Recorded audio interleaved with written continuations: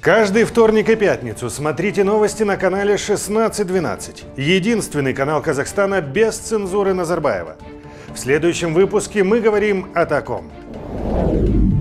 Свой первый визит за рубеж Такаев совершит в Россию. Чести удостоился никто иной, как Владимир Путин. О чем номинальный лидер должен договориться с президентом Российской Федерации и какой урон интересам Казахстана нанесут в этот раз – в стране нарастает возмущение военных. Кроме низкого уровня зарплат у защитников нет никаких социальных гарантий. Готовы ли военнослужащие защищать государство, которое о них не заботится?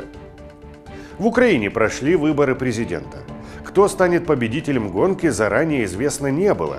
Сколько голосов досталось бы Дориге, окажись она в подобных условиях среди реальных соперников – как устроена работа ДВК, чем занимаются волонтеры и кто обеспечивает жизнедеятельность системы на разных этапах.